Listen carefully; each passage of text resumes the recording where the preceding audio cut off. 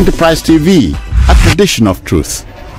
All I'm asking Labour to do is to be reasonable in making these demands, demanding the new minimum wage. Many state governors cannot pay 30,000 naira uh, as the minimum wage. And you're talking about, we're coming up with all these outlandish figures, uh, 600,000 and so on and so forth. But one question I keep asking is that we understand the military and their mindset of centralizing everything because in the military you have this pyramidal power structure. Somebody is on top. He says, move, you move. Everybody follows the same order. So when the military came, they couldn't understand the, the, the federal character where the regions were almost autonomous centers of power. So naturally they started weakening the region. Ironsi, Aguiyi Ironsi started it and it continued to a point where everything is centralized. Why must Nigeria, as diverse as Nigeria is, as heterogeneous as Nigeria is, have one minimum wage? The cost of living in Lagos is extremely high when compared to, say, Jigawa or Bauchi State. And you're trying to set one minimum wage across Nigeria. So first of all, let's start decentralizing what the soldiers centralized. And one of them will be to decentralize the minimum wage. Can't uh, uh, uh, we have a minimum wage that makes sense in Jigawa? Another minimum wage that makes sense in Lagos State because in Lagos State, 30,000 naira, most workers in Lagos, just their transportation eats up a good chunk of it. So you can say Lagos State, 80,000 minimum wage, and that might be reasonable. And then you say Nasarawa, Zamfara, as, as what else can be determined. 25,000 might make sense to them. I mean, I'm not being, uh, it's, not, it's not an expert's opinion. What I'm talking about is the diversity of minimum wage, allowing local circumstances, local realities to determine this minimum wage. But what is being thrown about now is just too comical. Nobody will pay you 615,000 a month as minimum wage. But I am not in a position to know. I lack the expertise. I don't have the arcanes of economics, so I don't know. How best should The issue is not about the naira you pay people. It's more about the purchasing power of the naira. So you, uh, uh, uh, if you raise the minimum wage to 100,000 naira, the inflation it will generate will just eat up the money.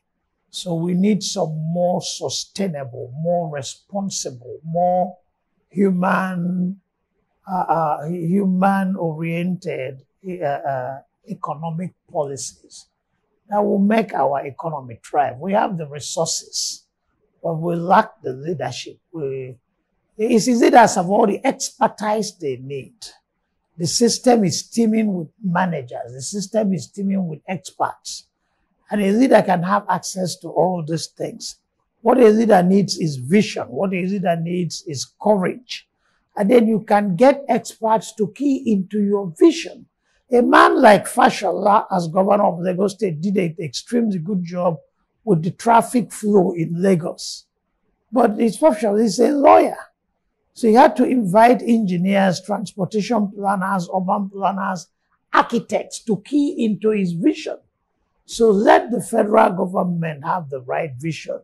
Let them be determined to make this country a better place, to utilize the enormous resources of this country and make it better for Nigerians to uh, provide the uh, necessary environment for the economy to thrive and to Nigerians to live a decent life. The experts are there that will tell them what to do or can pro provide the necessary uh, expertise in doing what is necessary.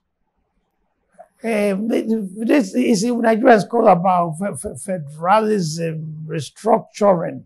And one mistake I think they make is to think that federalism restructuring will one day drop from above. Wicked and everywhere is restructured. It will not happen overnight. Uh, and in taking away the powers from the regions started to happen quite slowly, continuously, imperceptible gradations, but it wasn't one day. So we're talking about uh, state police. That would be a step in restructuring. Uh, fiscal federalism, another step in restructuring. But whatever can be done for the moment to make things work, to ease the burden on the long suffering, patient, uh, uh, uh, almost totally disenfranchised Nigerians should be done. The federal government and the state government meet routinely. I think it's once every month. The, the vice president presides over, uh, what do they call council of uh, National Economic Council. So they can work these things out. They can discuss these things and work them out. The thing is to have the goodwill. The thing is to have the political will and the desire to make, uh, to ease life, make life easier for the common man. It can all be sorted out. Now that May, May 1, What is special about May 1? Because it's, it's this Labour's Day. What is it? Labor Day. It's just another date, just like Christmas come and go. Easter come and go. Labor Day will come and go. So nothing has to be pegged to Labor Day. It's not a special day. The thing is for people to go back to the drawing board, lay out, lay, lay, lay, lay out, have a vision and work towards this vision. So whether the minimum wage comes in two months, three months, but let it be relevant. Let it be, let it make the system better. Let it improve the system and the lives of the people. Labour, nobody takes Labour seriously in Nigeria. Labour lost its credibility. For one thing, we all know that Labour has been compromised. Uh, I'm not being speculative. I'm talking with audacity. I'm talking with certainty because over the years, they've consistently disappointed Nigerians. They will threaten to go on strike and people will be ready, geared up for the strike. Uh, a few hours before the strike, they will call it off. It became a yo-yo game. We are going and people are ready to go. You call it off. So, and nobody can believe that this is being done in good faith. They are being compromised. They've been repeatedly compromised that nobody takes them seriously. So labor is not really to me a force to be reckoned with. Nigerians must learn to protest. This is a democracy. There's freedom of speech. The jewel of democracy is freedom of speech, the ability to express yourself. So Nigerians must learn to verbalize their discontent. And um, in doing that, we may not wait for labor because labor can only dampen the spirit to protest, the spirit to speak out. So to me, labor is lost its credibility. okay, what would you consider, since we're still practicing centralized wage, what would you consider to be an appropriate minimum wage? I answered your question already. I lack the expertise. I don't have the economic uh, uh, facts, data, and I don't, I don't have the, I, I lack the arcane of economics, so I cannot. It's very, it's very hard, and especially when you're talking about one minimum wage across Nigeria. It doesn't make sense. A man in Sokoto maybe can live off of 20,000. I, I, I'm just, I, I'm just, um, I don't have facts to that, but a man in Sokoto can, can live, doesn't need as much. Life is not as expensive in Sokoto as is, for example, in River State. Life is not as expensive as is in Jigawa and in Lagos. So break these things down. Let different states have different minimum wages. Great. Uh, I'm glad you've gone there. The, some have argued uh, creating inclusion for those who are Well, the thing is that if the government sets a minimum wage for government workers and corporate workers, it, it can be enforced. But in the informal sector, you cannot enforce the minimum wage. But then the government minimum wage sets the benchmark I remember during the Udoji Award, then I was in secondary school. Salaries went from like, uh, uh, for some, some, some, some workers, 40, say those with school start education, that's level 04, went from like 40 something, 40 something naira to 91 naira, only for civil servants. But then with time, it became the benchmark, even in the private sector. The private sector might not pay you 91 naira, but they can pay maybe 75. So everybody had to adjust. Even drivers started asking for their own Udoji award, and somehow they were accommodated. So, so if the government sent the benchmark, other um, employers will start kind of adjusting in response to this benchmark. But given the, given how long it has taken for Eh, the thing is, incident, do you see sincerity on that? on the part of the government. Sincerity is very scarce in Nigeria. Is in those days I realized that um, nine out of ten times when an American talks, he's telling the truth. Nine out of ten times when a Nigerian talks, he's lying. So it's our national culture. Colin Powell once was talking about Nigeria. And he said, I don't understand why they steal so much and lie so much. Maybe it's their national culture. Nigerians in the US went after him. But I told them the man is being honest. There are certain inherent uh, characteristics that we have that we cannot just escape. We might want to lie about it, but it's our reality. So I don't see the sincerity and honesty anyway. Do You see sincerity with the labor unions. Do you see it in the House of Assembly? And I, the, the, the Nigerian legislator earns more than the US legislator. And the income per capita in the US is 20 times that of Nigeria.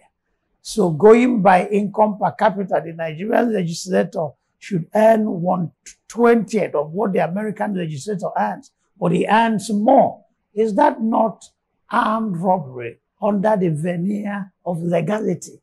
It's everybody's a crook. Everybody's trying, concerned with self-preservation, clique interest, reinforcing the status quo. So I don't see honesty on the part of the government.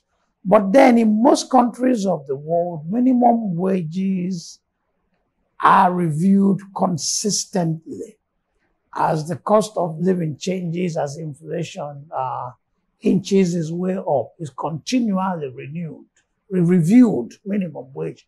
But in Nigeria, it's like we have to argue about it, demonstrate about it, fight about it, fix one date, make one promise, breach the promise, and so on and so forth. But why would you not readily, consistently review uh, uh, uh, minimum wage when the cost of living is not static? It keeps increasing. Since the 1973 Arab-Israeli war, inflation became a major, became a major factor in world economics. Before inflation wasn't, was not a, a major issue. And since then, these countries of the world, most countries of the world, have been reviewing their uh, minimum wages to keep up with cost of living.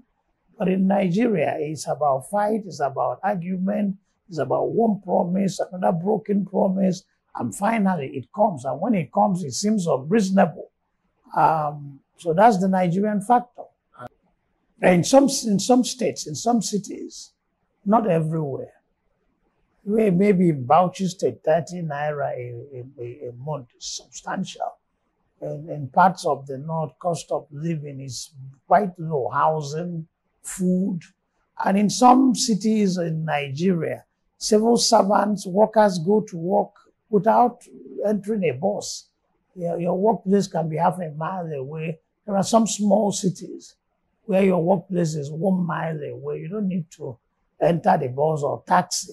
So you talk about very low cost of transportation, low cost of housing, low cost of uh, feeding. Uh, so uh, yeah, in some cases, in some cities, in some states, the minimum wages, the minimum wage does not make sense. In some uh, other parts of Nigeria, it makes a lot of sense.